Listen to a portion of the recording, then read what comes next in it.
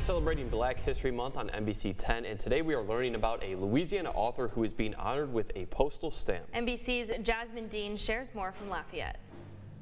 The U.S. Postal Service honors Ernest J. Gaines as its 46th Black Heritage Stamp recipient. Great that we're able to hold this ceremony here. This is our national ceremony. It's the first place where people will see this stamp.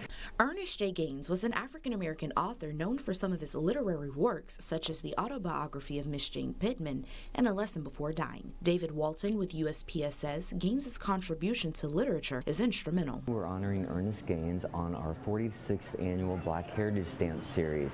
It's a, it's a big honor to be featured on a stamp, and we're just so privileged to be able to be featuring him. He's just such a uh, instrumental voice in the African American community as far as literature. As the 46th honoree for the USPS Postal Service Black Heritage Stamp Series, the first day of issue ceremony honored Gaines as the stamp became available to the public. Lena Foster, a student at UL, says it's an honor to hear about the things Gaines accomplished but actually coming to the event and hearing how he's also contributed to so many other like great scholars, out of state scholars, it's just amazing to hear. The Ernest J. Gaines Black Heritage Stamp is being issued as a forever stamp and will be equal in value to the current first class mail one ounce price. Donald Moak, the governor of the U.S. Postal Service, was the official dedicator of the stamp and says the dedication was special. So I think it's a very special moment, and it's uh, great that this dedication was held right here uh, within an hour of where Dr. Gaines grew up.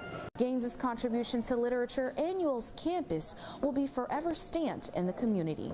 In Lafayette, Jasmine Dean, KLFY News 10.